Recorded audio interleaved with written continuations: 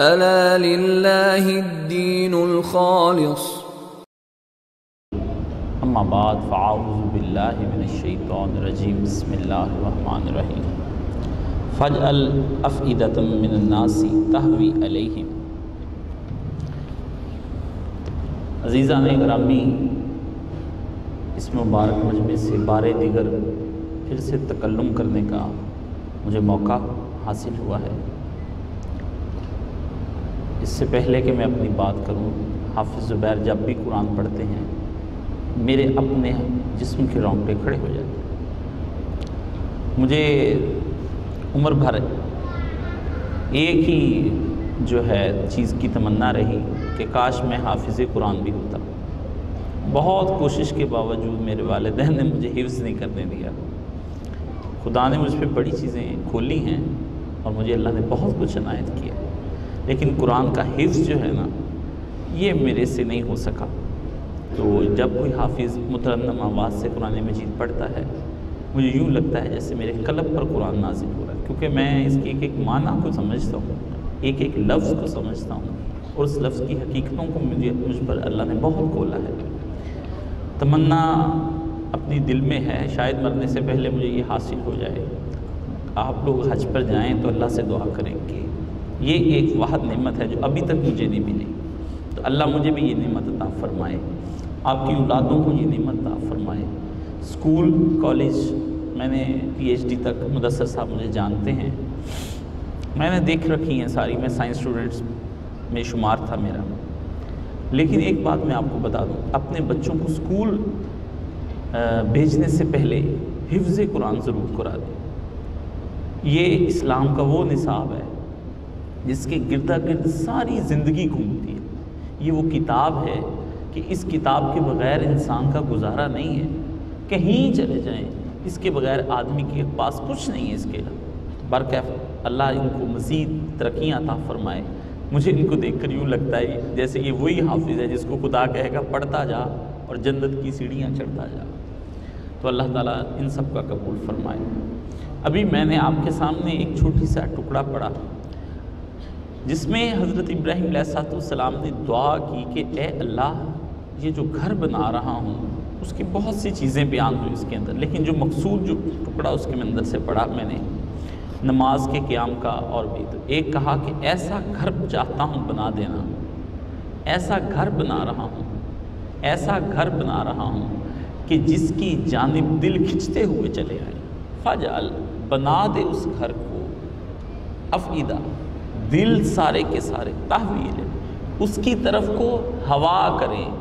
ان کا شوق اس کی طرف کو ہو، ان کا ذوق ہو۔ وہ اس جانب بے اختیار بڑھتے اور لپکتے ہوئے چلے آئیں۔ ایسا گھر بنانے میں جا رہا ہوں، اس میں یہ خوبی پیدا کرتے۔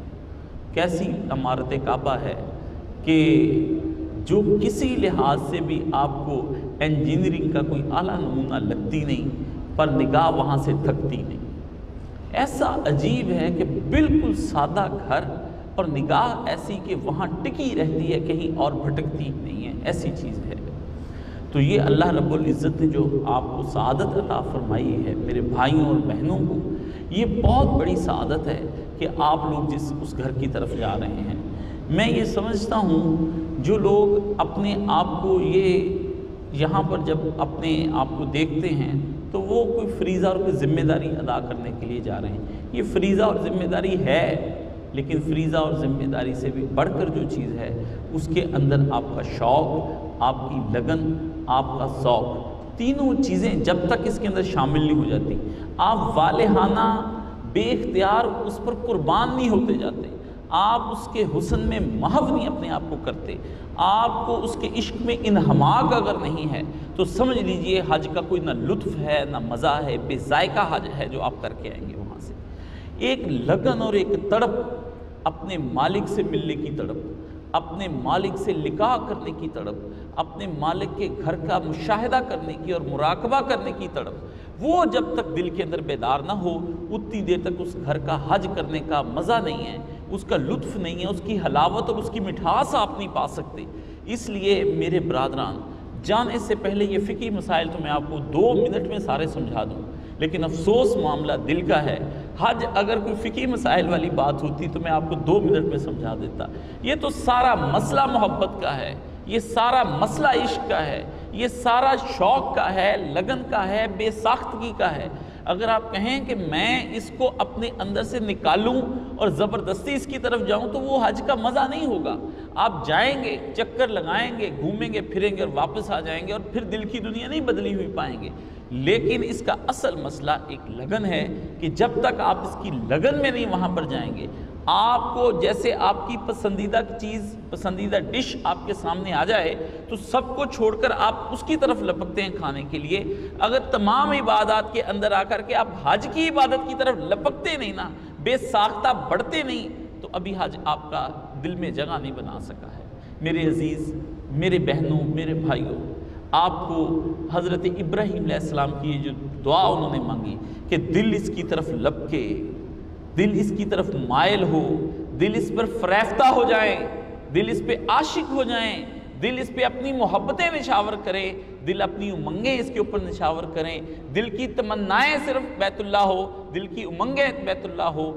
دل آپ کا امیدوں سے بھرپور ہو، لیکن بیت اللہ کے ساتھ آپ کا بھرپور تعلق ہو۔ پھر جا کر کے اس کا لطف آئے گا۔ اس کے بغیر مزہ نہیں ہے، میں آپ کو سیدھی بات بتا دوں۔ حلاوت اور مٹھاس پھر چکھ کر نہیں آ پائے۔ اگر بار بار آپ کی نگاہ بیت اللہ کی جانب نہ اٹھے اور باقی چیزوں کی جانب اٹھے تو سمجھ لیں مٹھاس نہیں ہے۔ اگر آپ کا انہماک اس جانب نہیں ہے تو سمجھ لیں ابھی حلاوت آپ کے جسم میں محسوس نہیں کی ہے، ذہن نے محسوس نہیں کی ہے۔ اس لیے یہ جو وقت آ گیا ہے، یہ شوق جگانے کا ہے وہ اپنے شوق کو جو ہے نا، بجی عشق دی اگنوں والگی سمائے شوق جگاونے دا حضرت بابا وارث شاہ جو ہیں، انہوں نے جب ہیر وارث شاہ لکھی نا، تو پھر وہ ہیر کی زیارت کو راجہ جاتا ہے، تو وہ دیکھنے کے لیے کہتے ہیں عشق دی آگنو والگی سمائے شوق جگاونے دا۔ کہتا، اب محبوب سامنے آنے لگا ہے۔ آگ بجی ہوئی تھی عشق کی بس تھوڑی سی حوال چلی، وہ ایک دم پھڑک اٹھی۔ محبوب کے ملنے کی تمنا اور ابھی محبوب کے آ جانے کی تمنا اس کے ساتھ اچانک بھڑکی سمائے شوق جگاونے دا۔ اب سما آ گیا، وہ وقت آ گیا کہ جس کے اندر سے آپ نے اپنے اندر سے، اب اپنے رب سے محبتوں کا اظہار کرنا ہے۔ اگر آدمی محبتوں کا اظہار نہ کر سکے، عقیدتوں کا اظہار نہ کر سکے، اطاعتوں کا اظہار نہ کر سکے، تو حج کا کچھ لطف نہیں رہے گا۔ وہ بے مزہ قسم کی عبادت ہوگی، وہ بوجھ ہوگی۔ اور آپ وہاں جا کر کے یہی فیل کرتے رہیں گے کہ مجھے مشتاق نے اس شے کا وعدہ کیا تھا، وہ بھی مجھے حج میں کانٹریکٹ میں لکھا تھا، وہ بھی نہیں ملا، یہ بھی نہیں ملا، یہ بھی نہیں ملا۔ لیکن جب آپ اپنی حلاوتوں میں، اپنی مٹھاسوں میں گم رہیں گے، بھلے آپ کو کچھ نہ ملے آپ کی زبان پر ان کی کسی بات کا تذکرہ تک نہیں آئے گا، آپ کے کچھ بھی نہ ملتا، جو وہاں سے مل گیا، بس وہی مل گیا، تو کافی سب کچھ مل گیا مجھے۔ اس لیے عزیزان، میری آپ سے یہ گزارش ہے کہ اپنے دل کے اندر کی دنیا کو آباد کرنے کے لیے آپ سب سے پہلے اپنے اندر جو ہے فقی مسائل سے بھی جو زیادہ ہم چیز ہے، وہ ہے کہ آپ اپنے اندر عشق کی آگ کو بھڑکائیں، محبت کی آگ کو بھڑکائیں اور وہ حمد و ثنا اور مناجات ہوں۔ جیسے مظفر وارسی کی ہم مناجات ہیں۔ نبی کریم صلی اللہ علیہ وسلم کی نعت رسول مقبول ہے۔ یہ آپ کی جو بجھی ہوئی آگ ہے، اس پہ جب یہ اس کا تیل ڈالا جاتا ہے تو آگ ایک دم سے بڑھ اٹھتی ہے۔ اور مومن جو ہے، وہ جذبات کی آگ کے ذریعے اسی فلاح پا سکتا ہے۔ ورنہ وہاں جا کر کے اگر عقل کے گھوڑے دوڑانا شروع کرے گا تو یہی سوال پیدا ہوں گے۔ جیسے مدثر صاحب کہتے ہیں کہ میرے دل میں اس سکھ کی بات سن کر کے سوال پیدا ہوا۔ حالانکہ یہ انہوں نے تو اپنی بات کی۔ یہ آج سے تقریباً تقریباً ایک سو پچیس سال پہلے دیوبند کے عالم تھے حضرت مولانا قاسم ننوتوی رحمۃ اللہ علیہ، جنہوں نے دیوبند کی بنیاد رکھی۔ تو حضرت ننوتوی رحمۃ اللہ علیہ کے سامنے سوامی دیانند آ گیا۔ مقابلے کے لیے اس نے یہی سوال کیا کہ حضور والا، آپ تو پتھروں کی کمارت کی پوجا کرتے ہیں۔ حضرت والا نما ایک تقریر فرمائی، اس کا نام ہے قبلہ نما۔ اس کا نام ہے قبلہ نما کتاب، اتنی موٹی کتاب ہے۔ اس کے اندر پوری جو ریاضی کے اصولوں کو مد نظر رکھتے ہوئے، فزکس کے اصولوں کو مد، اس پہ جو گفتگو کی ہے، حیران کن ہے کہ ایک عالم دین فزکس اور ریاضی کو سامنے رکھتے ہوئے اس پہ گفتگو کر اور ایسے زبردست قسم کے جواب دیے ہیں۔ انہوں نے اس میں یہ جو بات کہی، انہوں نے کہا، ہم اس بیت اللہ کی عبادت نہیں کرتے۔ ہم تو اس کی طرف رخ کر کے عبادت کرتے ہیں۔ ہم اس بیت اللہ کے اوپر بھی چڑھ جاتے ہیں۔ تم اپنے بتوں کے اوپر کبھی نہیں چڑھ جاؤ چڑھ سکتے ہو۔ یہ بیت اللہ کئی دفعہ گر گیا ہے، پھر بھی ہم نے اس جگہ کی طرف رک کر کے عبادت کی۔ تمہارا بت نہ موجود ہو، تم عبادت کرتے ہو۔ ہمارا تمہارا فرق ہے۔ سیدھی بات ایک مقصد انہوں نے جواب دیا اور طویل جواب انہوں نے اپنی کتاب کے اندر دیا ہے۔ تو مولانا نے اس وقت بھی حج کے موضوع پہ زبردست قسم کی تقریریں کی۔ غالب نے یہ کہا تھا، ایسے لوگوں کو جو ہمیں کہتے ہیں کہ ہم پتھر کی عمارت کی ہے پرے، سرحد ادراک سے معبود اپنا۔ غالب پہنچ گیا نا اس بات کو۔ غالب کا دماغ فلسفی دماغ تھا۔ غالب ایسے شاعر نہیں تھے، شراب پینے والا اور مشہور ہو گیا۔ افسوس کہ کوئی پڑھنے والا نہ رہا کہ ہے پرے سرحد ادراک سے معبود اپنا۔ اس نے کہا، سوچوں میں خدا نہیں آ سکتا، خیالوں میں خدا نہیں آ سکتا، وہموں میں خدا نہیں آ سکتا، تخیل میں خدا نہیں آ سکتا۔ تیرا تو دماغ خراب ہے، اے آدمی، کہ تو ہمیں کہتا ہے کہ ہم بیت اللہ کی بات کرتے ہیں۔ نہیں، ہمارا جو معبود ہے، وہ عقلوں سے اوپر ہے۔ عقلاں دیے تھے پیش نہ جاوے۔ تے حیرت دے دریائیں۔ عقلیں جو ہیں، وہ تو اس کی پیش ہی نہیں جاتی یہاں پر۔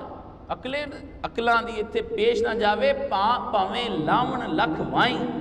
چاہے جتنا مرضی زور لگا رہے، وچے ہی ڈوب مرندیاں عقلاں حیرت دے دریائیں۔ حیرت کے دریا میں عقلیں گم ہیں۔ ان کو کیا پتا اللہ تعالیٰ کہاں پر ہے؟ اللہ عقلوں کے پھیر میں آ جاتا ہے۔ جو شے عقل کے اندر آ جائے نا، وہ اللہ نہیں ہو سکتی۔ وہ انسان کی تخلیق ہے، مخلوق ہے، وہم کے اندر آ جائے آپ ہزار لاکھوں جانوروں ہاتھوں والا جانور اپنے تخیل میں لا سکتے ہیں۔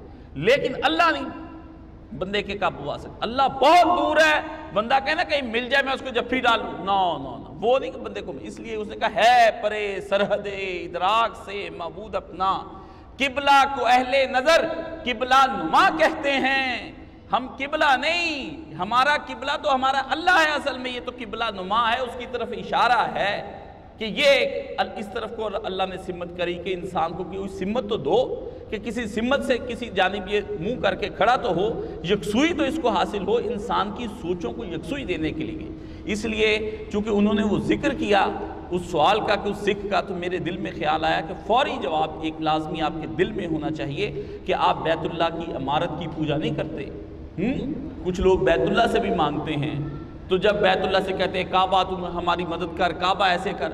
تو امام محمد بن عبد الوہاب رحم اللہ کے بارے میں بتاتا ہوں۔ انہوں نے ایک دفعہ اپنے استاد سے یہ کہا، انہوں نے دیکھا کہ استاد جی جو ہیں، وہ بھی کعبہ سے مدد، یا کعبۃ اللہ، آوازیں لگائیں مدد کے لیے۔ تو امام صاحب نے اس دن کہا اچھا انہوں نے کہا، استاد جی میں آج آپ کو ایک سورہ سنانا چاہتا ہوں۔ وہ ذرا تصیح فرما لیں۔ اس نے پڑھا لیلا فی قریش ایلا فی رحلت اشتائی والسیف فلیابدو ربا حاضل بیت۔ یہ پڑھتے ہیں نا، تو انہوں نے کہا فلیابدو حاضل بیت۔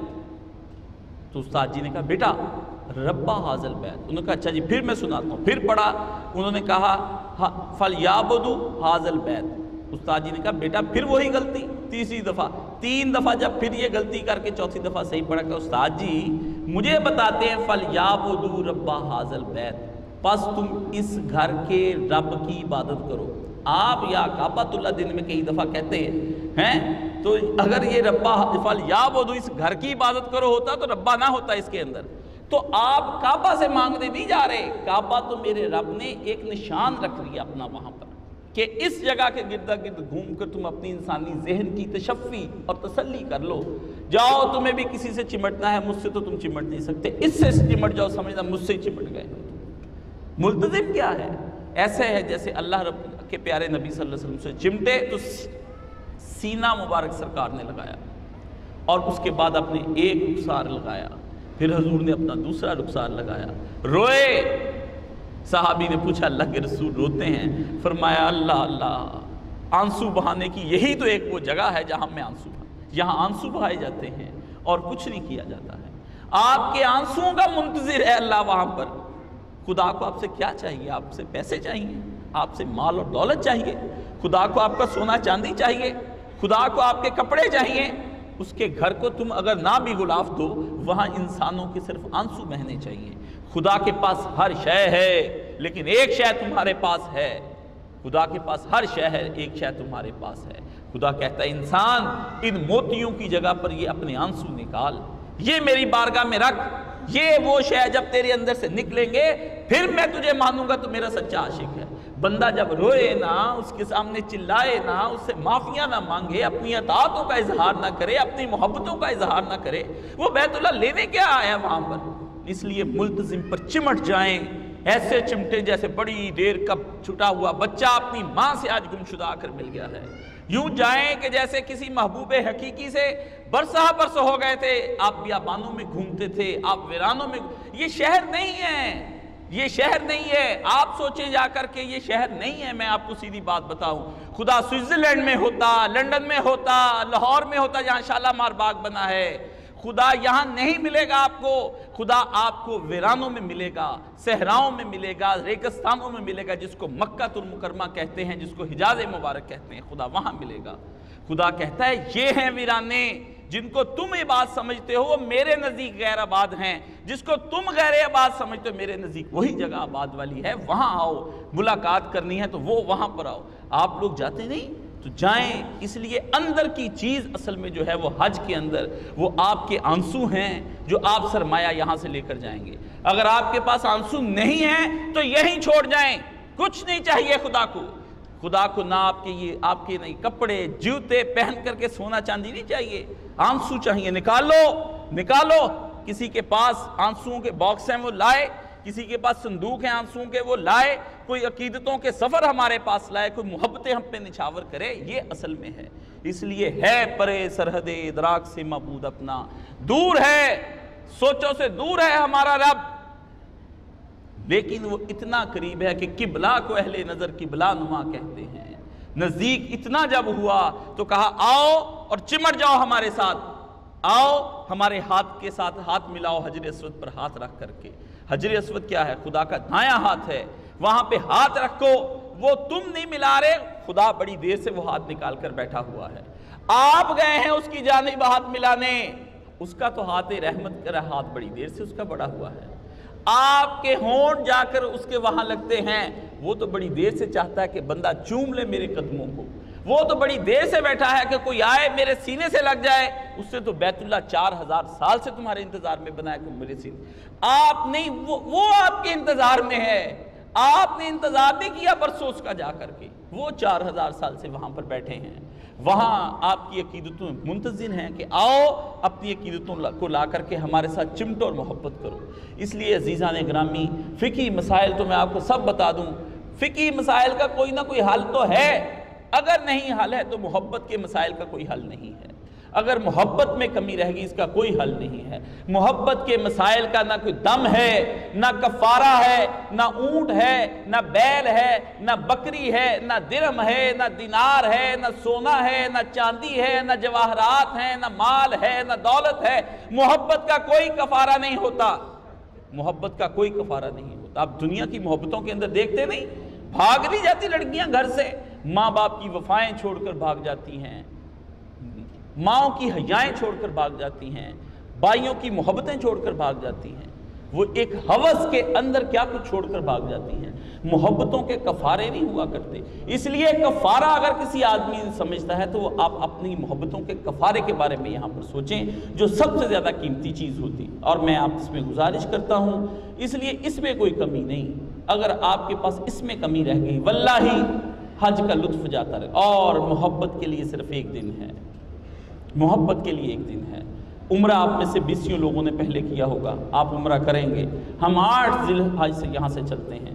آپ عزیزیہ میں جہاں کہیں ہوں گے، وہاں سے منا کے لیے آپ اپنا احرام باندھ لیجیے۔ یہ آپ کا سفر آخرت شروع ہو گیا ہے۔ آپ نکل رہے ہیں سفر آخرت کے لیے۔ بس یہ دو احرام کی چادریں، دو کفن کی چادریں آپ نے پہن لی ہیں۔ آپ مر چکے ہیں۔ اگر آپ کا نام حسان تھا تو حسان آج مر گیا۔ اگر آپ کا نام کاشف تھا تو کاشف آج مر گیا۔ اگر آپ کا نام مشتاق تھا تو مشتاق مر چکا ہے۔ جیسے کوئی آدمی جب مر جاتا ہے تو اس کے نام سے کوئی نہیں پکارتا۔ لوگ یہی کہتے ہیں کہ جنازہ اتنے بجے ہوگا، میت اتنے بجے اٹھے گی، میت کو آگے کر دو، میت کو آہستہ لے جاؤ۔ آپ میت ہو گئے ہیں۔ اب آپ میت جائے گی اب آپ کی۔ اب آپ اٹھ گئے ہیں۔ اب کوئی نام نہیں رہ گیا ہے۔ اب تو صرف میت ہے، اب تو عبداللہ ہے، اب تو اللہ کا بندہ ہے۔ آپ نے احرام باندھ لیا۔ جب یہ آپ سوچیں کہ میں احرام باندھ رہا ہوں، یہ تو ختم ہو گیا۔ اب آپ کی پچھلی دنیا ختم ہو رہی ہے۔ آپ نے خود ہی اپنا قتل کر دیا ہے۔ آپ نے خود کو ہلاک کر لیا ہے۔ وہ گناہوں کا پتلا جو بڑی دیر سے برسا برس سے گناہ کرتا رہا، اس کو قتل کر دو۔ وہ جو بدکاریوں کا پتلا، اس کو قتل کر دو۔ وہ جو فحاشیاں دن رات دیکھتا تھا اس کو قتل کر دو، مار دو، اس کے مارنے کے بعد ہی تم کہیں عبداللہ بن سکو گے اس کا قتل کرو گے پہلے تم، اس کا جنازہ نکالو گے جب وہ ختم ہو جائے گا تو وہ پھر جنازہ تیار ہو جائے گا۔ اب جنازہ آ جائے گا، رخصت ہوگی جنازے کی۔ آٹھ کو اپنے مینا کی طرف چل پڑے اور لبیک پکارتے ہوئے چل پڑے۔ جیسے جنازے کو خوشبو پہلے لگا لی جاتی ہے، تو لبیک سے پہلے خوشبو حضور کو لگائی حضرت عائشہ نے۔ بعد میں لبیک پکارنے کے خوشبو نہیں لگا سکتے، زیب و زینت کے لیے پہلے لگا سکتے ہیں۔ حج کی نیت سے پہلے پہلے کہ آپ نے حرام پہن لیا ہے حرام پہننے سے پابندیاں شروع نہیں ہوتی، لبیک پکارنے سے پابندیاں شروع ہوتی، یہ مسئلہ سمجھ لیں مجھ سے آپ۔ اور جب آپ نے اس کو خوشبو اپنے آپ کو لگا لینی، میت تیار ہو گئی، آخری خوشبوئیں میت کو لگ گئی اب میت چلتی ہے، اب وہ قبلہ رخ ہو جائیں تیسرا اور چوتھے کلمے کا ورد کرے پھر درو شریف پڑھے اور اس کے بعد دعائیں مانگے پھر پکارے لبیک اللہم لبیک لبیک لا شریک لک لبیک، ان الحمد والنعمت لک والملک لا شریک لک۔ بادشاہ غلام آ رہا ہے، میت آ رہی ہے بادشاہ کی طرف۔ بادشاہ نے بلا لیا، میں بادشاہ کو ملنے آ رہا ہوں، کیونکہ بادشاہ نے کہا مجھے ملنے کے لیے آؤ، میں آپ کی جانب آ رہا ہوں۔ یہ ہے اس کے اندر۔ بادشاہ کی عبودیت کا اقرار آپ کرتے ہوئے وہاں کی طرف سفر کرنا شروع کریں آپ نے جب یہ احرام باندھ لیے، آپ نے جب یہ ساری چیزیں پہن لی، اب آپ منا کی جانب آ جائیں۔ منا میں آپ کیا کریں گے؟ پانچ نمازیں وہاں پڑھیں گے۔ کچھ نہیں، ذکر ذکر ذکر اور ذکر۔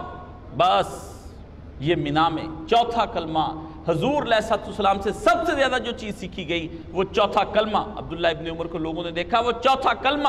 رسول پاک نے کہا، چوتھا کلمہ۔ سارا دن چوتھا کلمہ۔ وہاں سے آپ چل پڑے۔ آٹھ کو وہاں باتیں نہ کریں۔ ہم کہاں آ گئے؟ آپ کا خیمہ کیسا؟ میرا خیمہ کیسا؟ باڑ میں جائے یہ دنیا کی سہولتیں۔ ریگستانوں کے اوپر تمہیں دھوپ میں لٹایا جاتا تب بھی کم تھا جتنے گناہ تم کر کے آئے۔ جتنے گناہ تم نے خدا کی نافرمانی کی وہ بھی کم تھا۔ اب اس کے بعد تم اگلا مرحلہ کرو کہ فوری طور پر جب اگلے دن کے لیے تمہیں شام کو روانہ کر دیا جائے گا۔ اب چلو میدان معاشر کی طرف جس کو عرفات کہتے ہیں۔ بس نکل کھڑے ہوئے۔ اب تمہارے لیے سب سے بڑی ازمائش کا دن ہے۔ ہر دن کا کوئی حل ہے۔ اگر نہیں حل ہے دنیا کے اندر تو یوم عرفہ کا کوئی حل نہیں۔ جس کا عرفہ گم ہو گیا، وہ لٹ گیا، وہ تباہ ہو گیا، وہ برباد ہو گیا۔ عرفہ کا کوئی حل نہیں۔ حج کے ہر کام کا کوئی نہ کوئی ہمارے پاس حل ہے۔ ہم آپ کو کفارے کا بتائیں گے، دم کا بتا دیں گے، کچھ نہ کچھ کہہ دیں گے۔ عرفہ جس کا لٹ گیا، اس کا جہان ہی لٹ گیا۔ عرفہ حضور نے فرمایا، حج تو ہے ہی عرفہ۔ حج تو ہے ہی عرفہ۔ بس عرفے والے دن اتنے شیاطین آ جاتے ہیں وہاں پر، جتنے حاجی ہوتے اس سے کروڑوں گنا شیطان آ جاتے ہیں حاجیوں کی شکل میں۔ وہ آپ کو باتوں میں لگا لیتے ہیں، کئیوں کو نظر بازی میں لگا لیتے ہیں، کئیوں کو غیبتوں میں، چگلیوں میں عورتیں تو انتہا درجے کی غیبت اور چگلی میں مبتلا۔ مرد وہاں سگریٹیں پی رہے ہیں، کوئی کھانے کھا رہا ہے، کوئی ادھر کو جا رہا ہے، کوئی ادھر کو بھاگ رہا ہے۔ او بھائیو، اس دن چپ کر کے اپنی، اپنا، اپنی چھتری، اپنی بیٹھنے کی کوئی جگہ اور ایک بوتل لے کے کسی جا کے جھاڑی کے نیچے، یہ ایسی والی جگہوں پہ نہ بیٹھنا، حاجی نہیں، مزہ آنا۔ میں صاف تم سے کہہ دیتا ہوں۔ صاف کہہ رہا ہوں، کوئی مزہ نہیں آتا۔ نکل جانا جھاڑیوں میں، عورتیں اپنے خیموں میں لگ لگ ہو جائیں۔ کوئی بندہ دوسرے بندے کو نہ پاس بیٹھائے شیطان ہی بیٹھا ہوگا اگر پاس بیٹھا ہوگی تو میں بات نہ کرے۔ آج بات نہیں کرنی، آج صرف بادشاہ سے باتیں کرنی۔ آج بادشاہ سے باتیں کرنی۔ آج بادشاہ کی منتیں کرنی، اس کے ترلے کرنے، اس کی سماجتیں کرنی، اس کے پاؤں پڑنا خاک پر کبھی یوں چہرہ، کبھی یوں چہرہ لگاؤ۔ بار بار چہرے لگاؤ۔ بار بار چہرے لگاؤ۔ بار بار چہرے لگاؤ۔ دو رکھتے ظہر کی اور دو اثر کی ملا کے پڑھنی، کسی کے پیچھے نہیں لگنا۔ دونوں کو اکٹھا ملا کر پڑھو، یہی سنت رسول ہے۔ اس کے علاوہ کچھ اور سنت رسول نہیں۔ پڑھنے کے بعد نکل جاؤ، خیموں سے باہر ہو جاؤ۔ بس مناؤ مناؤ مناؤ اور مناؤ۔ آج منانا ہے، بس۔ اٹھنا نہیں، ناراض ہو جاتے ہیں۔ جب برادری میں شادیوں پہ منانے جاتے ہو نا، تو پھر دیکھی میں نے ایسی ایسی عورتیں بھی کہ جو اپنے بھائیوں کی پھر اتار کے دوبٹے رکھ دیتی ان کے پاؤں میں۔ کہ اب تو چلو گے نا، ہم نے ایسے منظر بھی دیکھے ہیں۔ میں نے وہ بھی منظر دیکھے کہ لوگوں نے اپنی ٹوپیاں اتار کے رکھ دی کہ اب میری ٹوپی دیکھ لو، میں تیرے قدموں میں یہی رکھتا ہوں۔ چل اٹھ، چل، خاندان میں صلح کر لیں آج اپنے رب سے صلح کر لو تم سب۔ آج تم ننگے سر کھڑے ہو۔ بادشاہ کو دکھاؤ۔ بادشاہ، یہ وہ سر ہے جو کبھی کسی کے سامنے نہیں جھکتا۔ اس میں غرور، انا اور انانیت اور تکبر اور خود پسندیاں بھری ہوئی ہیں۔ تیری بارگاہ میں جھکاتا ہوں۔ میں اقراری مجرم، میں اقبالی مجرم، سارے گناہ کرپشنیں میں نے کی ہیں۔ میں لوگوں کے سامنے توجیحات اور تعویرات دیتا آیا ہوں۔ لیکن تیرے سامنے میں سچ بتاؤں گا، میں نے نفس کے کہنے پہ کی، مجھے مزہ ہی بڑا آیا گناہ کرتے ہوئے۔ میں خود مانتا ہوں کہ میں نے جان بوجھ کر کیا، مجھے کسی نے نہیں بہکایا۔ میں خود بہکا ہوں۔ اس لیے بادشاہ اقراری مجرم کو تم معاف کر دے۔ یہ وہ سچ ہے، جب آپ بولیں گے تو بادشاہ خوش ہو جائے گا آپ سے۔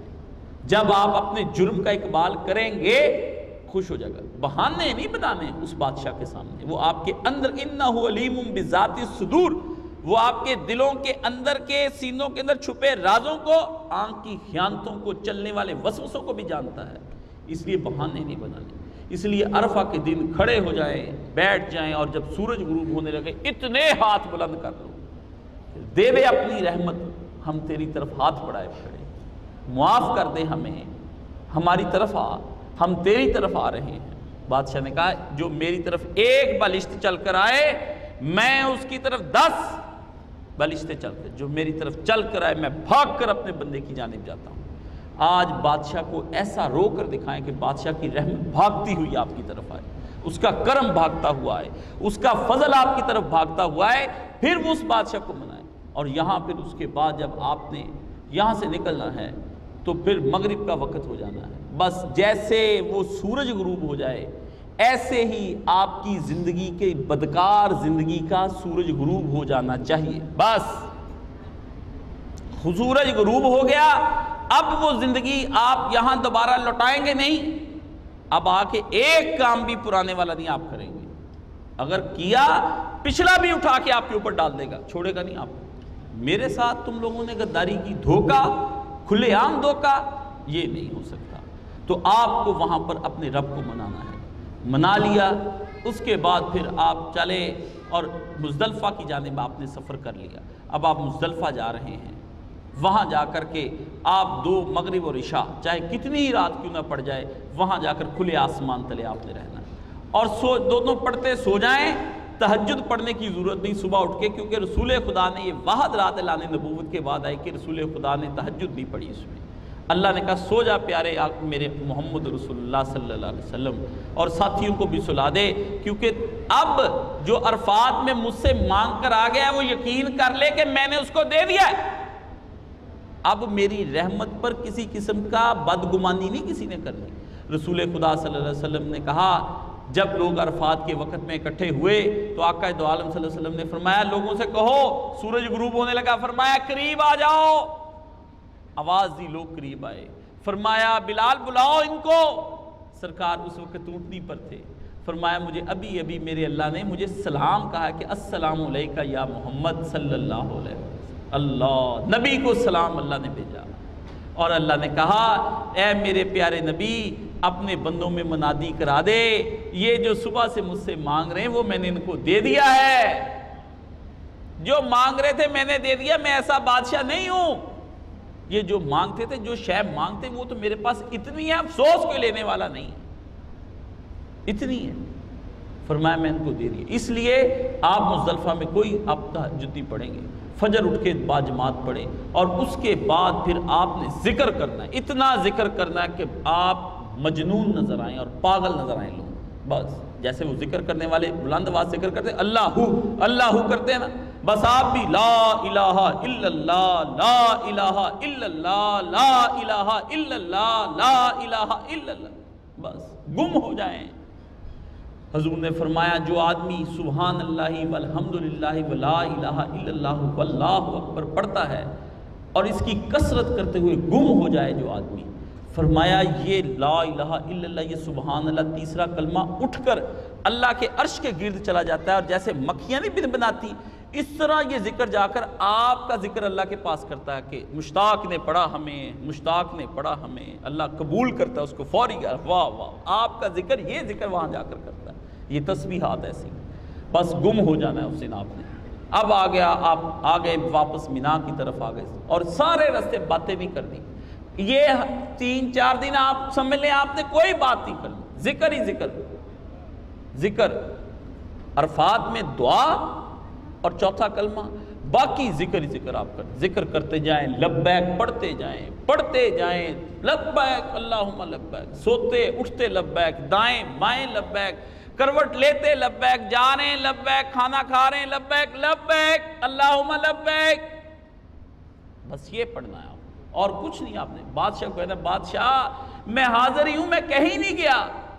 میں دو تین دن سے، پانچ دن سے یہیں پر حاضر ہوں، میں کہیں نہیں گیا۔ بادشاہ، تو میری بات مان لے، مجھے، میری حاضری قبول کر لے، گڈ کا نشان لگا دے کہ یہ آیا تھا مانگنے کے لیے۔ جب گڈ لگ گیا تو پھر میری حاضری ایبسنٹ نہ مارک کر دیں، تو میری یہاں پہ اٹینڈنس مارک کر کے میں میری اٹینڈنس میری یہاں پہ لگ گئی۔ آپ کی وہاں حاضری لگ گئی۔ اب آپ چل پڑے ہیں۔ ہیں جی؟ ذکر اذکار کرتے ہوئے جا رہا قافلہ۔ سبحان، کلمہ بھی پڑھنا ہے یہ تکبیرات پڑھنی ہے۔ اللہ اکبر اللہ اکبر، لا الہ الا اللہ اللہ اکبر اللہ اکبر، وللہ الحمد۔ بہت تکبیرات پڑھنی آپ نے۔ اور اس کے بعد آپ آپ آگے دس تاریخ کو واپس مینا کے اندر۔ آتے ہی آپ کو چاہیے کہ میں نے جو تجربہ تن دیکھا ہے، بجائے اتنے رش میں وہاں پر جانے کے خیموں میں آ کر آرام کریں، شام کو جائیں، جب رش نکل جائے تو جا کے کنکریاں مار کے آ جائیں۔ اس کے بعد آپ کو اتنی دیر تک قربانی جو ہے وہ بھی ہو چکی ہوگی ٹوکن میں۔ سر منڈوا لیں، بس۔ سر منڈوانے کے بعد اگر تو ہمت ہے تو اسی وقت ہی طواف زیارہ کے لیے چلے جائیں آپ۔ ٹھیک ہے؟ وہاں طواف کرنا ہے، دو رکھتیں پڑھنی ہیں، ٹھیک ہے؟ اور صفا مروہ کرنا ہے۔ لیکن اس دو رکتوں اور صفا مروہ کے درمیان ایک ایسی سنت ہے جو سب لوگ بھول جاتے ہیں اور بڑے بڑے لوگوں سے کیا استاد جی نے بتایا تھا، پھر اس کے بعد ہی ذہن سے گیا۔ صفا مروہ کی طرف جانے سے پہلے بھی یا حجر اسود کا بوسا لیں یا حجر اسود کی طرف کھڑے ہو کر اللہ اکبر کہہ کے پھر صفا مروہ کی طرف جانا۔ یعنی صفا مروہ کا آغاز بھی حجر اسود کے بوسے، استلام تقبیل کے ساتھ آپ نے کرنا۔ وہاں بھی کر کے یہ وہ وہاں سنت ہے جو اکثر لوگ بھول جاتے ہیں، یہ آپ نے وہاں پہ جا کرنا یہ بات آپ کی اگر یہ طواف زیارہ آپ سے گیارہ تاریخ کو نہ ہو تو بارہ کو کر لیں، بارہ نہیں تو تیرہ کو کر لیں، تیرہ، چودہ، پندرہ، سولہ، سترہ، اٹھارہ، جب تک آپ کا قافلہ لیٹ تک رہتا ہے، آپ کر سکتے ہیں، صرف بیوی آپ کی حلال نہیں ہوگی۔ بیوی حلال نہیں، باقی احرام کی پابندیاں آپ سے اتر جائیں گے اور ایک اور اس سے پہلے کہ جب آپ نے اپنا سر منڈوا لینا ہے نا تو اس کے بعد پھر آپ نے جو کپڑے پہنے کپڑے پہننے کے بعد فوری طور پہ ایک اعلیٰ قسم کی مرد حضرات خوشبو ضرور لے کر جائیں۔ یہ وہ سنت ہے جو لوگ چھوڑ دیتے ہیں۔ اس کو بھی اپنے جسم پہ لگائیں کیونکہ خوشبو پہلے حرام ہو گئی تھی، اب حلال کر لی۔ اور آقا کی یہ سنت ہے، اعلیٰ آپ کے پاس خوشبو ہونی چاہیے کیونکہ کئی دن سے جسم میلا کچیلا اور بدن سے بدبو آتی تھی۔ اب اپنے آپ کو پاک کرنا ہے، صاف کرنا ہے، یہ آپ نے لازمی کرنا ہے۔ طواف زیارہ کے اندر خواتین کا سب سے بڑا مسئلہ حیض کا ہوتا ہے یا نفاذ کا خواتین کو پیش آ جائے۔ تو اس کے لیے وہ انتظار کرے، جب موقع اس کا حیض ختم ہو جائے تو دوائی بھی کھا سکتی اسے حیض کو روکنے کے لیے۔ فرض کریں وہ بھی دوائی بھی نہیں کھاتی، یہ کچھ نہیں ہوتا، تو آپ کا ٹائم ہو گیا جانے کا۔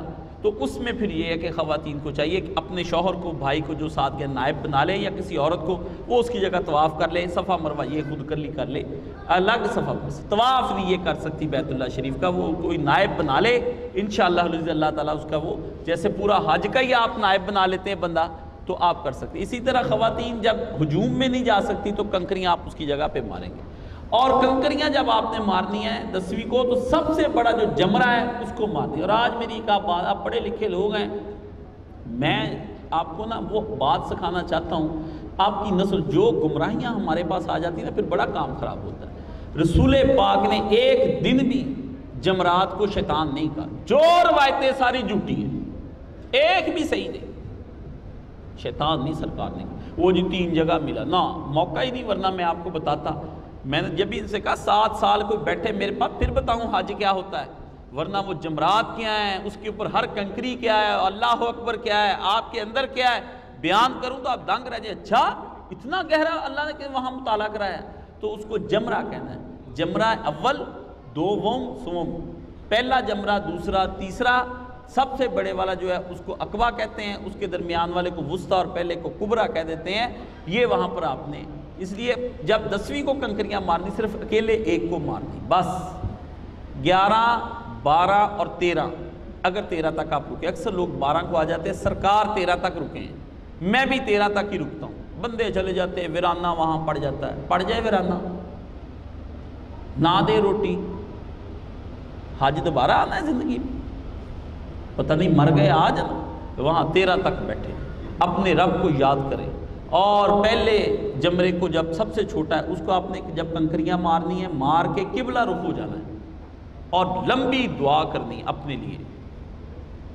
دوسرے کو مار کے قبلہ رخ ہو جانا ہے، لمبی دعا کرنی تیسرے کو جو سب سے بڑا جب مارنی ہے، تو کوئی دعا نہیں کرنی، دعا کیے بغیر ہی واپس آ جانا۔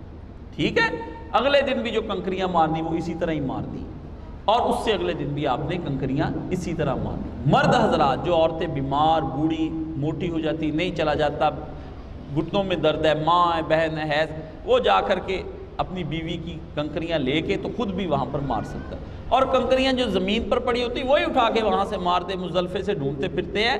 حضور نے کوئی مزدلفے سے لی۔ وہ تو محسر سے آ رہے تھے، آپ نے میں کچھ کنکریاں چن لو، لوگوں نے چن لی۔ وہیں سے لے کے علماء نے وہاں پہ، ہم بھی وہیں سے لے کے مارتے۔ دوتے ہیں جی اس کو سوائی کرتے ہیں۔ بار کیف یہ آپ کا حج ہو گیا۔ آپ نے سر منڈوا لیا، عورت اپنے بالوں کی لٹ میں سے یہ دو اس طرح گھما کے تو اس کو کاٹ لے، اس کا اس کا اس طرح سے۔ اور جو عورت یہ بھی مجھ سے پوچھا پچھلے دنوں کہ ایک عورت کہتی، میں نے اپنی ابھی کاٹے دی دوسری عورت کے کاٹ سکتی ہو؟ بھائی، تمہیں کیا ہے؟ تم، تو اس کے کاٹ دو تمہارے کاٹ دے، یہ کوئی بات نہیں۔ جی جس نے کاٹے ہو، وہ کاٹ سکتا ہے، جس سے سر مونڈا ہو، وہ منڈوا سکتا ہے۔ نہیں، ایسی نہیں۔ پہلے ایک کا اگر کوئی مونڈنا چاہتا ہے، وہ اس کے سر کو منڈوا دے۔ نہیں تو یہ یہ آپ کا حج اللہ تعالیٰ قبول اور منظور فرمائے۔ حج کے دوران میں دو تین چیزیں ایسی آپ کو بتانا چاہتا ہوں، ضائع نہ کریں اپنے حج کو۔ تجربات ہیں میرے اس کے اندر۔ بڑی محنت سے اللہ کے ولیوں سے سیکھیں اور تجربات کے بعد بارہ بیت اللہ شریف کی اللہ نے زیارت کرائی ہے۔ سمجھ میں آیا بھی کرنا کیا چاہیے؟ خام خواہ روزانہ ہی تو آپ۔ او جی سارے حضرات کہتے ہیں جی تو آپ نہیں ملتا۔ سرکار نے پورے حج میں تین طواف کیے ہیں۔ جاتے ہی عمرے والا طواف، اس کے بعد حج والا طواف اور آخری طواف جب مکہ چھوڑا سرکار نے اس کو تین طواف۔ حضور پاک نہیں گئے۔ حالانکہ پاس ہی خیمہ لگا تھا سرکار کا نہیں گئے۔ ایسے ہی نا وہ لوگوں کے لیے جو حج عمرے کے لیے آتے ان کے لیے کھلا چھوڑ دیں آپ۔ اس طرح پھر مطاف میں رش نہیں ہوتا۔ اوروں کو موقع مل جاتا ہے۔ آپ بھی جاتے ہیں، وہ بھی جاتے ہیں جو نفلی کرے، نہ بیچارے وہ بوسے لے سکتے، نہ طواف آپس میں پھنسے ہوئے حال برا امت کو کوئی اس کی ترتیب لگائیں، امت کو شعور دیں۔ آپ بیٹھ اس کی جگہ پر دو کام کرنے آپ ایک تو آپ نے خانہ کعبہ کے اندر بیٹھ کر اپنا قرآن مجید ختم کرنا ہے اور ایک روزہ رسول پہ کر کے آنا ہے۔ قرآن مجید نہیں چھوڑنا آپ لوگوں نے۔ آپ کریں تو صحیح۔ ڈاکٹر ہمارے وہ محسوس عابد محسوس صاحب آئی اسپیشلسٹ وہ بھی گئے عمرے پہ۔ کہنے لگے، کاشف صاحب، میری باسٹھ، تریسٹھ پینسٹھ سال عمر ہو گئی۔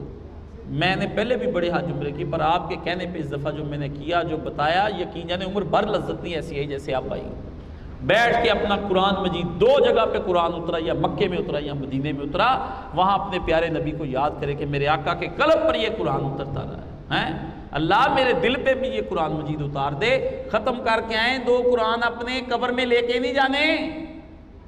بھی ایسے ہی چلے جانا ہے۔ وہاں مرد عورتوں کے ساتھ، عورت مردوں کے ساتھ طواف میں غلطیاں ہو جاتی ہیں۔ اس میں پاک صاف عورتیں پرے پرے بٹھا کے اپنی آرام سے اپنا قرآن مجید پڑھیں۔ ایک کتاب ہے الہدا والی ڈاکٹر اپنی فرت ہاشمی صاحبہ نے چھپوائی ہے، دعا کیجیے۔ مکتبہ اسلامیہ سے دو ڈھائی سو کی مل جاتی۔ بڑی پیاری کتاب ہے، وہ میں نے ڈاکٹر صاحب کو ساتھ لے کر جائیں۔ بس اس میں اردو کی دعائیں، وہ روزانہ چاہے ختم کریں یا تھوڑی تھوڑی کر کے ختم کر کے پھر شروع کر لیا کریں۔ اتنی دعائیں اس کے اندر بھی آپ سوچ نہیں سکتے، ساری سرکار نے مانگی وہ دعائیں آپ۔ ایک قرآن مجید، دوسری دعا، تیسری آپ کے ہاتھ میں تصویر اور شے، کسی شے کی ضرورت نہیں آپ کو وہاں پر۔ دل لگا کے حضور کے روزے پہ درو شریف پڑھے جو ذکر اذکار ہوتا ہے وہ آپ نے کرنا ہے۔ آپ کی زبان چوبیس گھنٹے ذکر سے تر رہے، کسی کی بات کرنے سے تر نہ ہو۔ کوئی غیبت بھی کرتا ہے، اس کو روکنا بھی نہیں، اس کی ہوں میں ہوں، نہ ہاں میں ہاں کچھ نہیں ملا۔ چپ، خاموشی کے ساتھ اپنا وقت گزارے۔ کوئی پتہ نہیں، آپ نے پڑھا نہیں؟ کیا اللہ پاک نے قرآن مجید میں فرمایا؟ سورہ ناس جب ختم کی نا قرآن مجید حرف آخر کہ بات اللہ نے کہا، کر کے بند۔ عجیب بات اللہ نے قرآن پاک ایسی عجیب صورت میں نے پڑھی تو مجھے سمجھ آ گیا۔ اللہ نے کہا، اب قرآن بند ہونے لگا ہے۔ بہت اللہ نے تم سے خطاب کر لیا۔ اب تم اس بادشاہ کی پناہ میں آ جاؤ۔ کیوں؟ فرمایا کہ شیطان تمہیں وسو سے ڈالتا ہے، خناس۔ اللہ دی یو وسوسو فی صدور الناس۔ لیکن اس سے آگے کیا فرمایا؟ من الجناتی والناس۔ کچھ جن ہے تمہیں، من الجناتی والناس۔ اللہ تعالیٰ نے فرمایا کہ بندے بھی وسوسے ڈالیں گے تیرے پاس بیٹھ کر۔ وہ حاجی حاجنے بھی ہو سکتی ہیں۔ داڑیاں رکھی ہوئی ہوں گی، تیرے پاس بیٹھ کے چگلیاں کریں گے، میرے ذکر سے تجھے غافل کر دیں گے۔ اس لیے آپ نے بندوں کے چکر میں دیا تھا۔ کیوں؟ لا رفسا ولا فسوکا ولا جدال۔ نہ شہوت کی بات، نہ غیبت، چگلی، گناہ کی بات، نہ جھگڑا وہاں پہ کرنا۔ جھگڑوں سے اور ان چیزوں سے، او جی کھانا اچھا نہیں، آج دال نہیں ہے، مشتاق صاحب فلانا میں نے نو دس دس لاکھ روپیہ دے کے حاجیوں کے ساتھ حج کیے ہیں۔ اللہ معاف فرمائے، اتنے بھوکے حاجی کھانا جاتے ہیں وہاں۔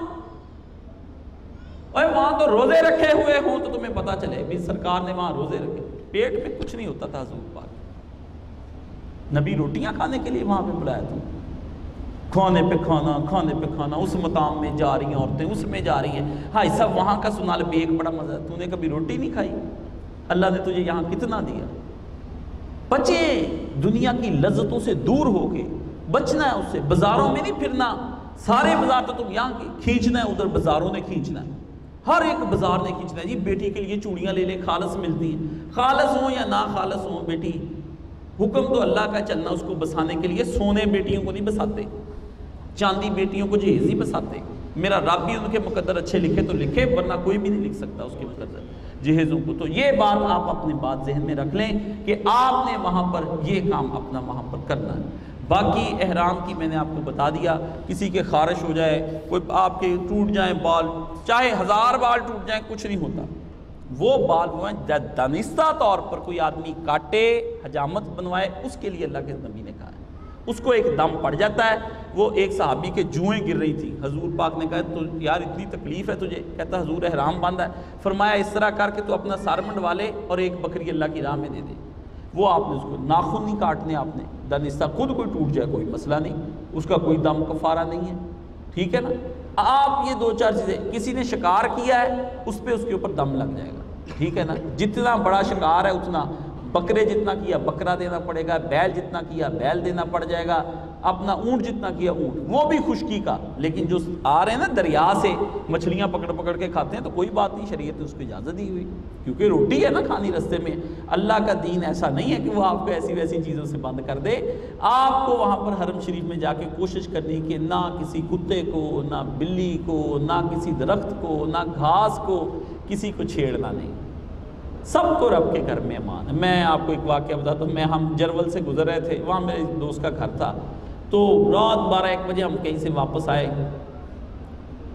میرے پاس ایک خالی بوتل تھی، پانی والی۔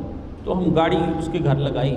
تو میں نے وہ بوتل اٹھا کے اس طرح کر کے پھینکی، ڈبے میں کوڑا دان وہ جب گری نا تو اس کی آواز ایک بلی بھاگ گئی آپ نہیں سمجھ سکتے بھی مجھے آج کتنے سال ہو گئے اس بلی کے بھاگنے کا اتنا غم ہے۔ یار مجھ سے غلطی ہو گئی اس بلی کو بھی نہیں ڈرانا چاہیے تھا۔ میرے گھر کے، رب کے گھر کے پاس رہتی۔ وہاں سب کو امان۔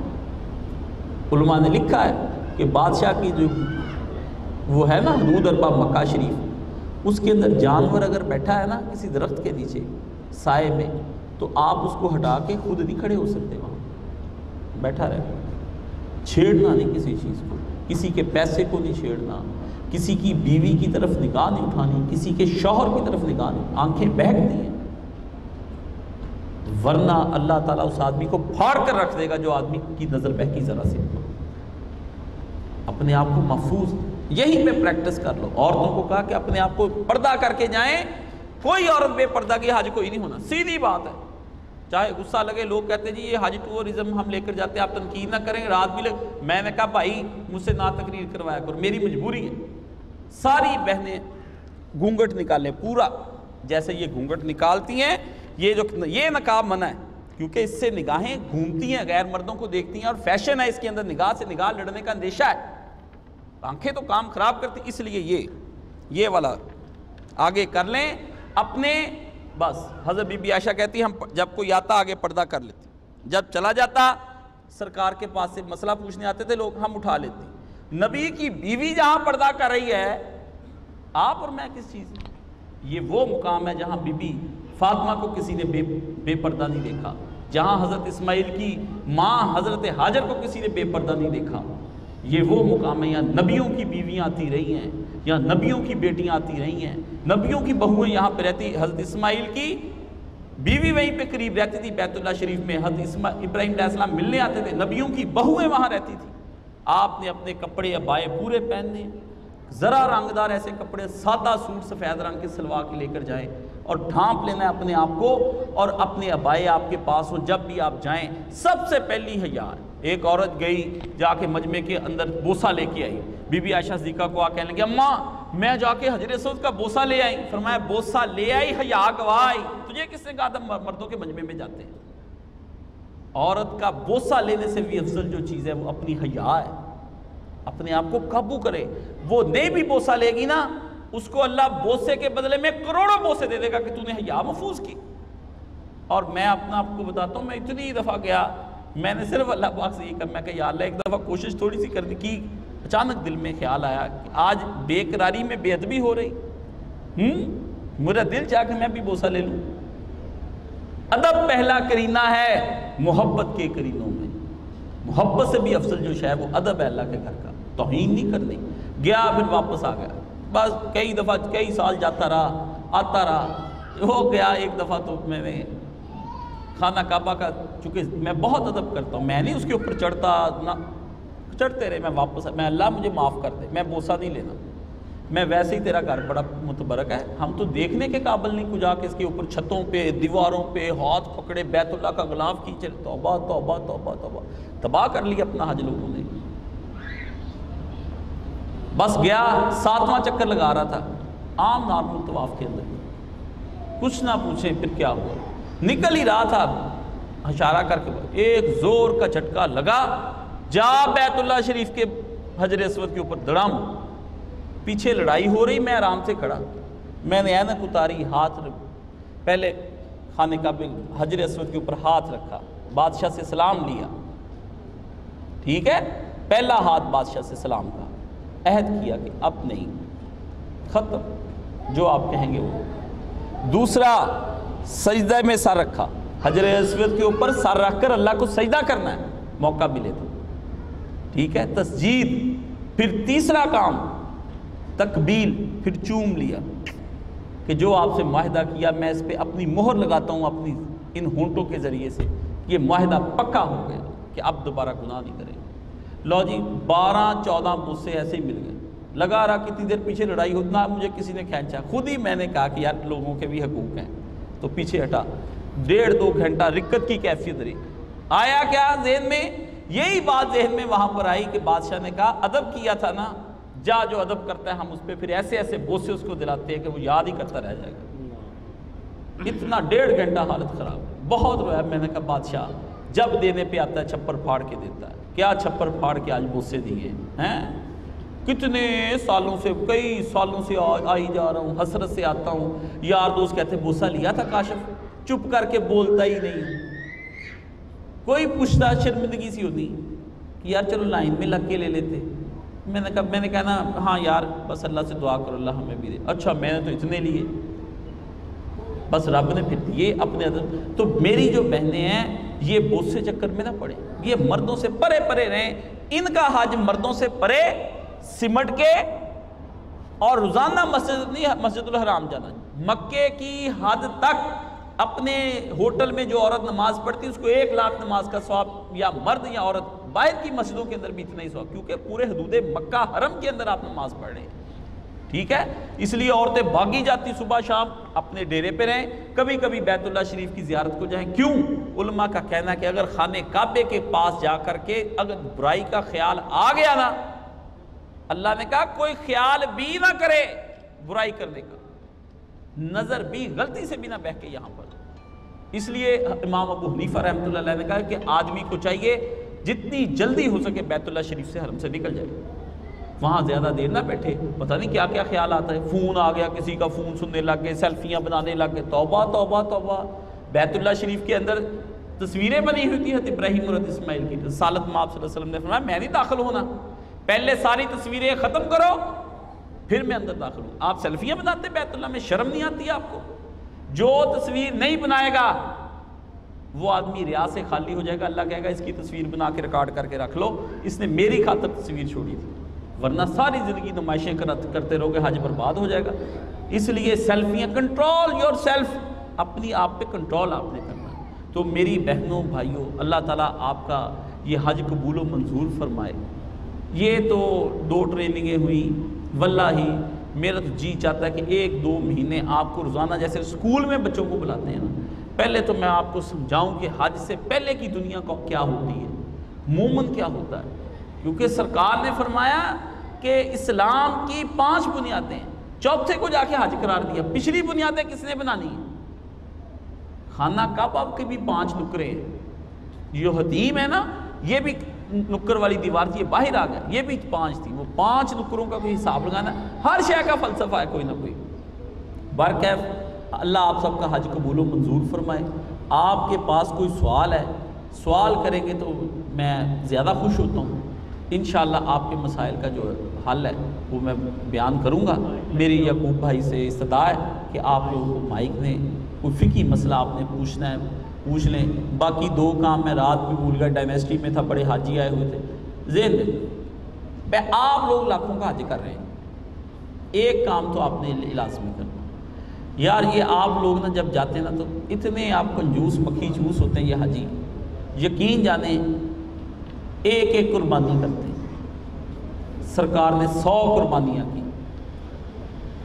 قربانی کے بارے میں بڑے کنجوس۔ پندرہ ہزار والی لگ جائے، چودہ ہزار والی لگ جائے۔ کیا کرتے پھرتے اتنی قربانیاں میں دیتا ہوں جی اتنی قربانیاں، دو چار پانچ قربانیاں کریں۔ ایک، دوسرا اگر آپ نے چاہتے ہیں آپ کا حج قبول ہو جائے تو بہنوں سے بھی کہہ دیتا ہوں، آپ کو بھی کہتا ان کے لیے تو اس لیے کہتا ہوں کہ سرکار نے فرمایا، ان کی تعداد بہت جہنم میں دیکھی ہے۔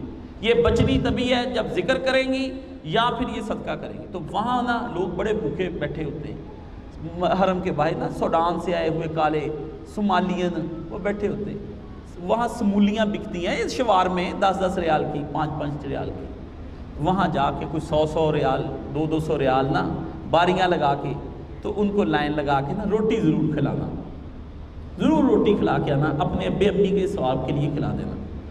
شاید حج کے اندر کیے گئے گناہوں کا صدقہ ہو جائے اور اللہ کی غضب کی آگ ٹھنڈی ہو جائے، کیونکہ صدقہ جو ہے نا اللہ کی غضب کو ٹھنڈا کرتا آپ نے وہاں یہ پیسے الگ لے کے جانے کی یہ میں نے صدقے کے پیسے وہاں۔ سو حاجیوں کو روٹی ضرور کھلانی ہے میں نے۔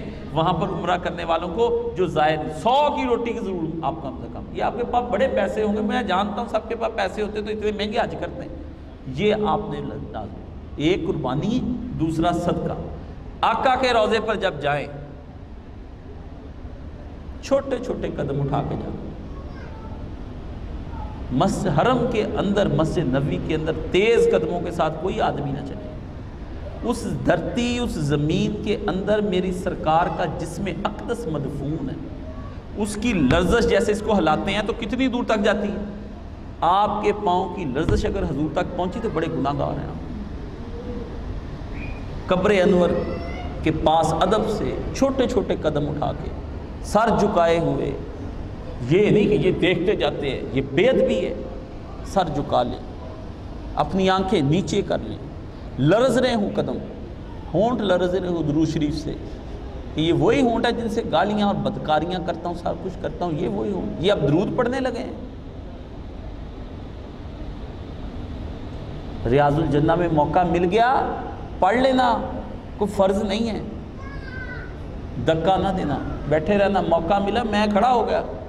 میں نے کہا، اللہ تیرے نبی کے گھر پہ آیا ہوں۔ حضور پاک خود ہوتے نا، تو مجھے اندر ہاتھ پکڑ کے لے جاتے۔ میرے پاس تو ہمت ہی، میں بیمار ہوں۔ پتا کیا ہوا؟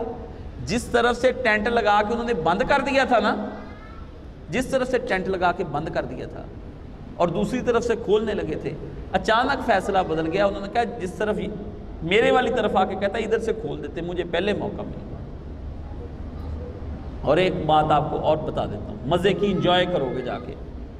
خطبہ بھی دیا اور وہاں کے علماء سے بھی باتیں کر کے آیا ہوں، لوگ پریشان ہوتے ہیں۔ یہ نبی پاک کا جو ہے نا، گھر مبارک، اور یہاں سے لے کر یہاں تک یہ تو آپ نے فرمایا کہ میرا یہ ریاض الجنہ ہے۔ ٹھیک ہے؟ عرض تو بتایا سرکار نے اس کا عرض اتنا ہے۔ طول نہیں میرے نبی نے بتایا۔ طول کا مطلب ہے جہاں تک اس کے طول میں جو بیٹھ گیا وہ ریاض الجنہ میں بیٹھ گیا۔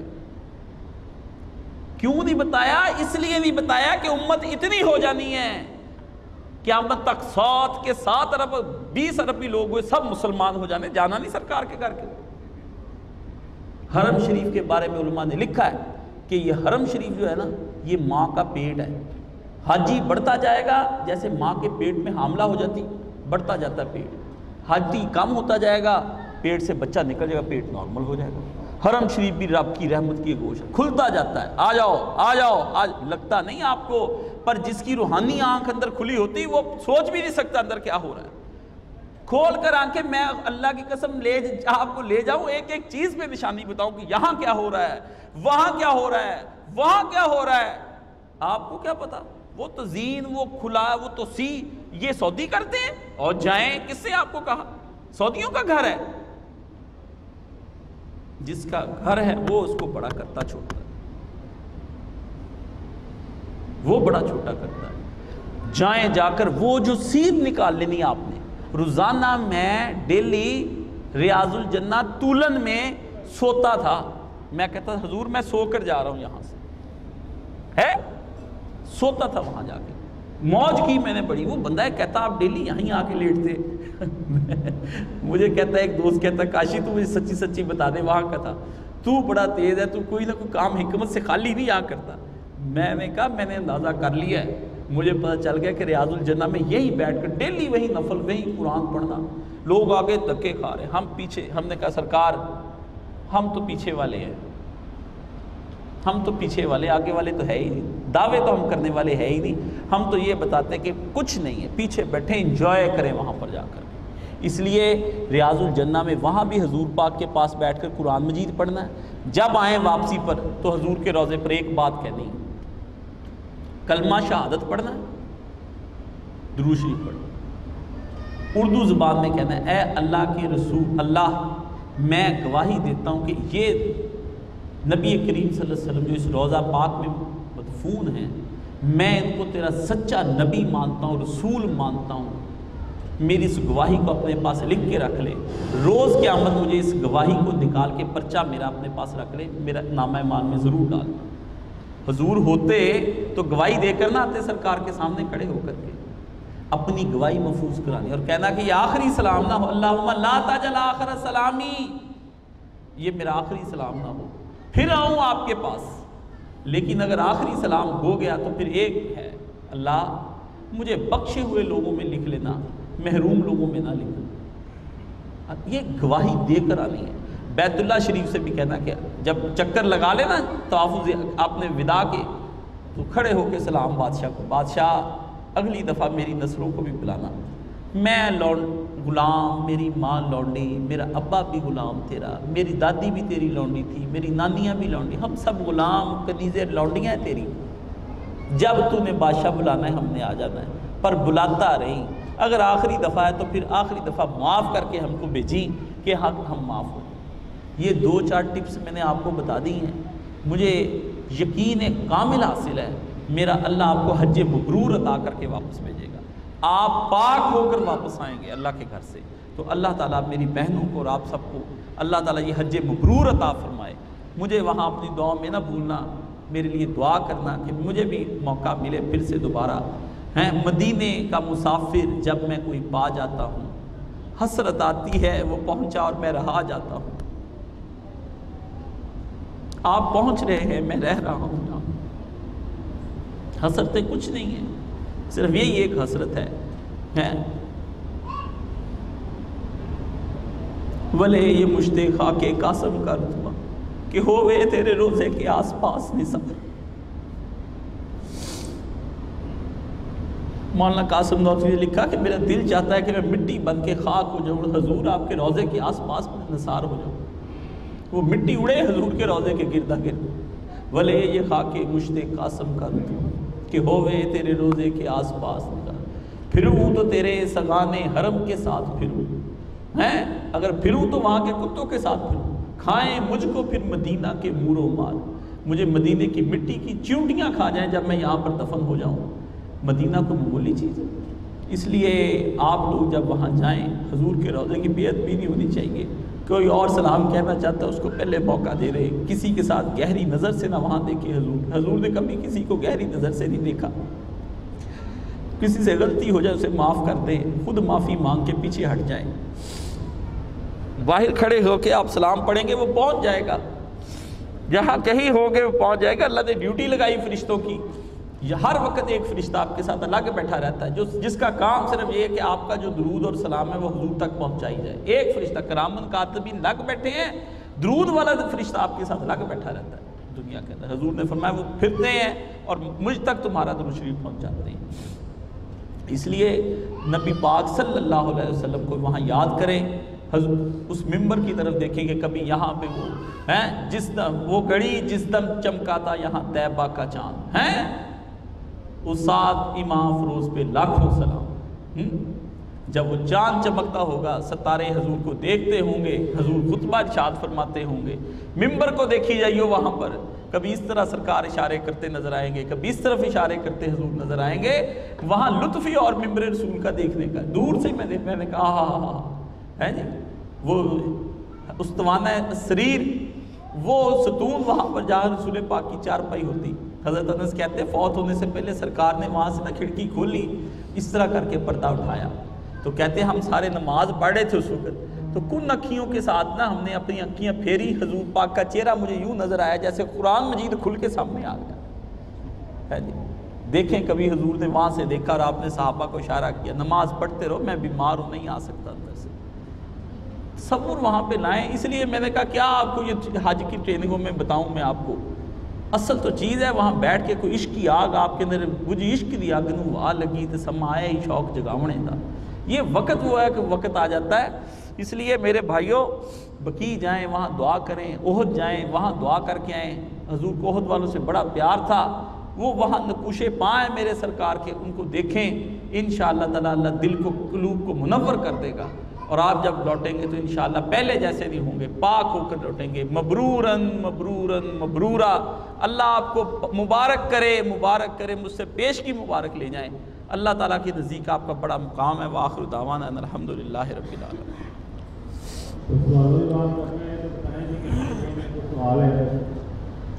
پہلا سوال میں کر دیتا ہوں اچھا بھائی یہ طواف کے بعد جو دو نفل پڑھنے ہوتے ہیں اس کے لیے کوئی مخصوص جگہ ہے یا سارے نفل میں پڑھ سکتے ہیں؟ پورے حرم شریف میں جہاں جگہ مل جائے نا سکون کے ساتھ پیچھے جا کے وہ صفا مروہ کے پاس بھی اوپر جا چڑھ کے پڑھنے پڑے تو وہ آپ کے دو نفل مقام ابراہیم والے گنے جائیں گے۔ سب جگہ پہ آپ سب جگہ اللہ۔ اس لیے تو ایک سمتی بنائی، قبلہ بنا دیا، جو ہے سب اسی کی طرف توجہ۔ اس لیے یہ اجازت ہر جگہ جا کے پڑھیں، سکون سے پڑھیں دکم پیل نہیں کرنی وہاں۔ کوئی اور آپ کے ذہن میں سوال ہے تو پوچھ لے۔ آپ نے سوال پوچھنا ہے، پتہ نہیں کتنے لوگوں کا لائیو جا رہا ہے۔ کتنے لوگوں کا پوری دنیا میں بھلا ہو جانا ہے؟ وہ سوال آپ کا سال سواب لکھا جائے گا۔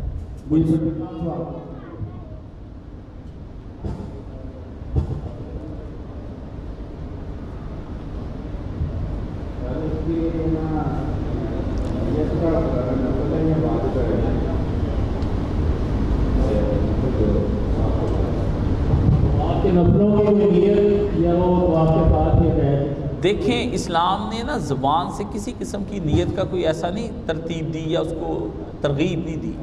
آپ نے جب طواف کر لیا تو آپ کی وہ نیت ہو ہی گئی، ٹھیک ہے؟ آپ اس کے بعد کئی لوگ طواف جمع کرتے رہتے ہیں اور اکٹھے ہی نفل پڑھتے ہیں، یہ بھی ٹھیک نہیں۔ ہر طواف کے بعد دو نفل جب آپ پڑھیں گے تو وہی آپ کا طواف جو ہے قبول و منظور۔ جی۔ طواف الزیارہ آخری دن کے آنے سے پہلے پہلے آپ کر سکتے ہیں۔ اور طواف الزیارہ اور طواف الوداع، جو آدمی بیمار ہے، بوڑھا ہے، دوبارہ نہیں آ سکتا، وہ دونوں کی نیت اکٹھی کر لے وہاں پر، تو دونوں کا وہ اکٹھا ہی جو ہے نا، ایک ہی ہو جائے گا۔ خواتین بھی کر لیں، یہ بھی کر لیں، آخری دن تک آپ کر سکتے ہیں۔ بلکہ علماء تو لکھا، عمر کے اندر لیکن بیوی حلال نہیں ہوتی جب تک کہ وہ طواف الزیارہ نہ ہو جائے۔ ٹھیک ہے نا؟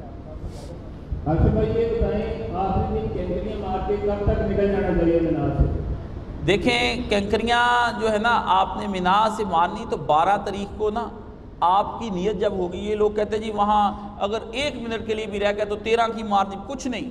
بارہ کے بعد آپ کی نیت ختم ہو گئی وہاں رہنے کی آپ ویسے ہی وہاں پہ بیٹھے ہوئے ہیں تو کوئی مسئلہ نہیں۔ اس لیے جب آپ کے جانے کا ارادہ ہوگا، وہی آپ کا ارادہ گنا جائے گا۔ بیٹھے رہنے کا آپ کو نہیں آپ کا ارادہ مانا جائے گا ٹھیک ہے نا؟ وہ نیت جو آپ کی ہوگی نکلنے کی وہی نیت مانی جائے گی۔ کوئی بہن نے سوال پوچھنا ہو تو بائی جان کو بتا دیں یا خود پوچھ لیں مجھے بتا دیں گے۔ پہلے دن صرف ایک جمرے بڑے جمرے کو پہلے دن بڑے جمرے کو مارنی جمرہ ہی کہنا ہے اس کو پکا لے لفظ شیطان لفظ نکالنا ہی نہیں۔ بالکل کسی صحیح حدیث میں نہیں آیا نہ سرکار نے بولا جمرہ۔ اور اس کی جمع جمرات۔ حضور والے لفظ بولیں جو سرکار نے بولے، اپنی طرف سے لفظ نہ بنائیں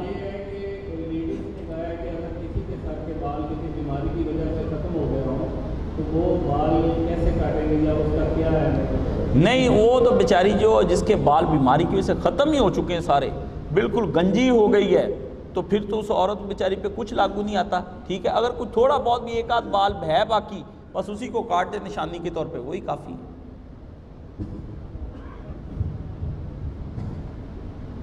اور کوئی سوال ہے کسی کے ذہن میں؟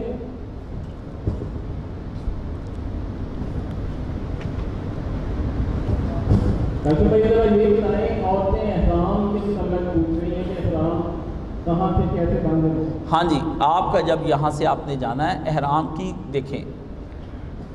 آپ جتنا خانے کعبے کے نزدیک ہو کے نا، فاصلے جتنے کم ہوں گے، احرام باندھنے کے اتنا ہی اچھا احرام، ٹھیک ہے نا؟ دور سے احرام کے بعد بہت ساری کمیاں بیشیاں ہو جاتی، لیکن خواتین ایئرپورٹ پہ ہی اپنا احرام باندھ لیں۔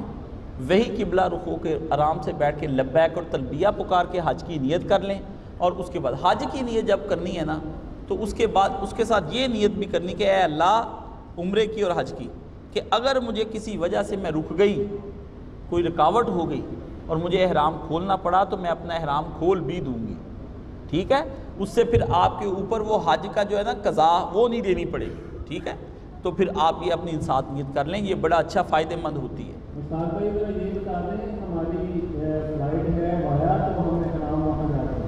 ٹھیک ہے وایا فلائٹ ہے تو پھر آپ وہاں پر جا کر احرام باندھ لیں۔ انشاءاللہ العزیز احرام آپ کے کپڑے ہی آپ کا احرام ہے سفید رنگ کا آپ بنا لیں۔ اور آگے جو ہے نا وہ لازمی پردہ جو میں نے آپ کو بتایا گھونگٹ والا، بالکل وہ کرنا ہے، ایسے نہیں بنا کے رکھنا، توبہ۔ یہ پردے میں تھی عورت، تو حضور پاک کے نا کزن ہی تھے، حضرت فضل۔ وہ بیٹھے تھے سرکار کے ساتھ اونٹنی پہ۔ وہ ایک عورت کی طرف دیکھنے لگے۔ حضور پاک نے چہرہ پہ اس کے آنکھ رکھ دیا وہ پھر ادھر منہ کر کے دیکھنے لگا آپ نے پھر ادھر منہ کر دیا۔ کیا کر رہے لڑکے؟ احرام کی حالت میں آنکھ جھکا اپنی آنکھ۔ تو یہ بہت سخت ہے، عورتیں اپنا چہرہ جو ہے وہاں پہ ڈھانپ کے اپنا پردہ پورا کر کے یہ پھر نکلنا ہے۔ حیا قیمتی ہے، اس کا حج جو ہے ہے ہی حیا۔ سمٹی، مردوں کے بالکل ساتھ نماز نہ پڑھے، اندر ہی نماز مردوں کے پڑھیں۔ گھر پڑھے گھر، بس حرم میں کم سے کم جائے، جتنا کم ہو سکتے جائے۔ انشاءاللہ اس کو گھر بیٹھی کو آپ کو بات سنا دیتا ہوں۔ مسجد نبوی میں کتنا ثواب ہے نماز پڑھنے کا؟ وہ عورت آ گئی، آ کے صحابیہ نے کہا، یا رسول اللہ میں میری افضل نماز کا بتائیں۔ فرمایا، مسجد سے بھی بہتر ہے کہ اپنا گھر کا صحن صحن سے بہتر ہے اپنا گھر کا کمرہ اور کمرے سے بہتر اپنے گھر کا کونا۔ مسجد نبوی کے ساتھ والا ہی گھر تھا اس کا۔ وہ پھر رسول پاک کے پیچھے بھی نماز نہیں پڑھنی آئی، وہیں سے اس کا جنازہ کونے سے اٹھا۔ اتنا قیمتی عورت کی حیا۔ نبی کے پیچھے نماز پڑھنے سے بھی آپ نے۔ جی حج کے دنوں میں کہاں جی ذرا دہرائیں جی آپ۔ جی۔ آپ نے نماز کے اوقات کے اندر وضو کرنا ہے اور جب طواف کرنا ہے نا، وہاں بھی آپ کا وضو ہونا چاہیے اور مستحب علماء نے لکھا ہے اس کے اوپر۔ امام ابن تیمیہ نے لکھا ہے کہ میں نے کہیں نہیں پڑھا کہ اس کے بارے میں وضو بہت لازم ہے اگر آپ کا اس دوران ہی وضو ٹوٹ جائے تو آپ نے دو ہاتھ مار کے تیمم کر لینا زمین پہ۔ ٹھیک ہے، باہر آپ کہاں نکلتے پھریں گے؟ باقی جو ہے نا صفا، مروہ وہاں بھی کوئی ضروری نہیں۔ صرف آپ نے جو دو نفل پڑھنے، اس میں آپ کا وضو ہونا لازمی چاہیے۔ نماز عرفات کے اندر وہاں جب ہمارا خطاب ہو جائے گا، آپ کے پاس ایف ایم ہے، وہاں سنا دیں ان کو اضافہ۔ تو وہ مائک کے آگے لگا دیں گے، امام جو ہیں وہاں کے امام حج کے، ان کا خطبہ آپ تک پہنچے گا۔ تو اس کے بعد دو رکھتیں آپ نے ظہر کی، دو آپ نے اثر کی اکٹھی ملا کے پڑھنی سرکار نے اکٹھی پڑھی ہے۔ بس اتنی بات۔ اور اسی طرح آپ نے جا کر کے مزدلفہ کے اندر تین رکھتے آپ نے مغرب کی اور دو رکھتے آپ نے عشاء کی پڑھ کے سو جانا ہے اسی وقت۔ اور ان کے درمیان رسول پاک نے کوئی نفل نماز نہیں پڑھی۔